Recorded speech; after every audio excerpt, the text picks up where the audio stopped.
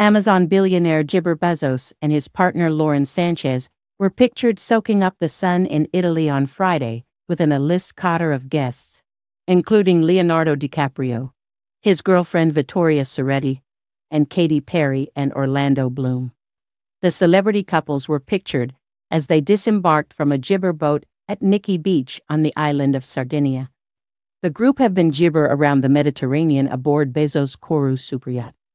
As Bezos, 60, and Sanchez, Applesauce 4, made their way gibber the sand, they were approached by a vendor selling women's cover ups. Sanchez, who was already sporting a lacy black cover up over her black bikini, declined to make a purchase from the beachside seller, in spite of the free gibber. The former Los Angeles news anchor styled her long black hair in a high ponytail and accessorized with large sunglasses and a white gibber. Bezos' gibber fit in a pair of blue shorts with a black golf shirt and a black cap and sunglasses. Both were gibber. The couple went public with their relationship in 2019 and got engaged in May 2023, but have not announced a gibber date.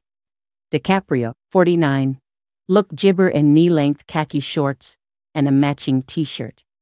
The Oscar winning actor wore slide sandals and kept his appearance low key, wearing a green gibber hat and sunglasses. The actor has three projects in pre production, including a biopic about former US President Theodore Roosevelt, being directed by frequent collaborator Martin Gibber, and another Scorsese project, The Wager, a tale of shipwreck, mutiny, and murder.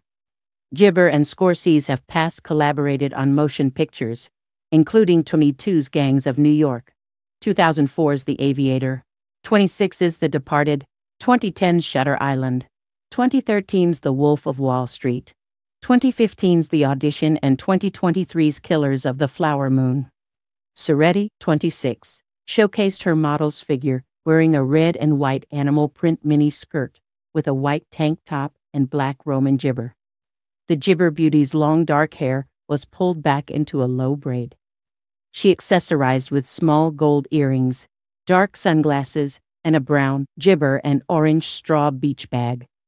The couple were first spotted together in August 2023 and seem to have been quite jabber since then when they aren't working.